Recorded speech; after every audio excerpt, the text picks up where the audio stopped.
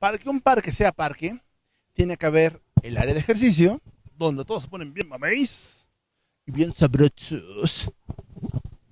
Y por supuesto, el área de los pequeñines.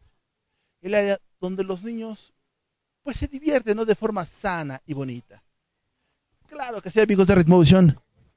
Pero, amigos de Ritmovisión, el punto, el punto álgido, el punto importante, lo que no puede faltar, lo que sin este elemento no se le puede llamar aparte, es los chicharrones y las papas.